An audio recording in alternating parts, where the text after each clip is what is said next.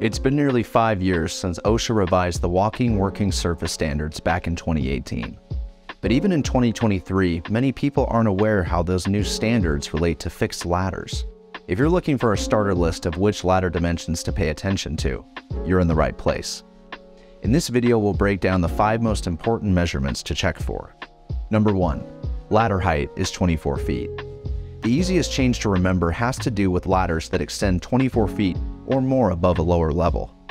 Ladders that are 24 feet or higher can no longer use safety cages as a means of protecting workers. Ladders that were newly installed or changed after November 19, 2018, require a ladder safety system or personal fall arrest system. Number 2.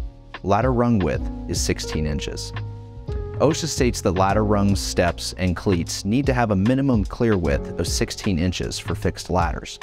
You'd be surprised how many times our inspection teams still see ladders that do not meet this minimum standard. How wide should my ladder be? The answer depends on what kind of lifeline system you have on your ladder. Want a recommendation?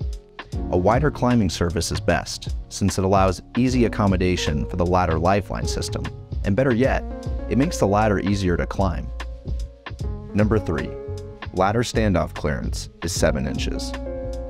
Another frequent stumbling block, literally, is the requirement that the ladder provide a minimum of 7 inches of clear distance between the ladder rungs and the building. This is true for permanent obstacles like pipe or conduit as well. This 7-inch clearance protects the worker climbing the ladder from tripping because of the narrow space between the ladder and the building. This is much easier thanks to the new fixed ladder design, which allows for accommodation around obstructions. Number 4. Access level grab bar extension is 42 inches.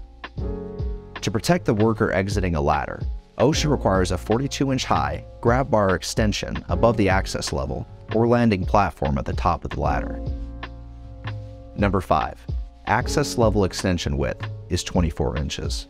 This last measurement needs to extend above the access level, a minimum of 24 inches, but no more than 30. This makes it easier for the climber to reach both handrails.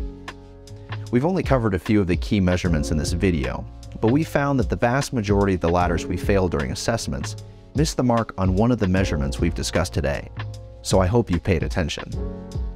For a complete summary of all the updated OSHA regulations pertaining to fixed ladder systems or any other fall protection systems, visit our website at www.fallprotect.com.